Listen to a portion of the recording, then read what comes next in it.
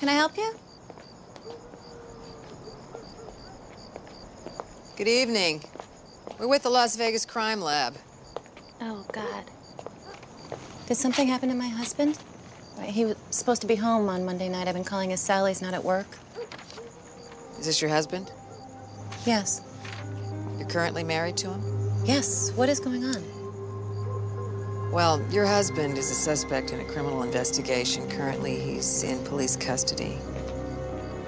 I, I don't understand. Mrs. Dunbar? Do you have a daughter? Amy. Is she entered in the science fair? You can't take it.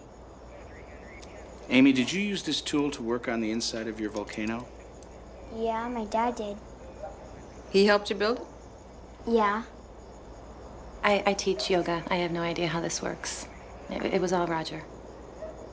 When's your science fair? Friday. Well, we'll do our best to get this back to you by Friday, okay? Okay.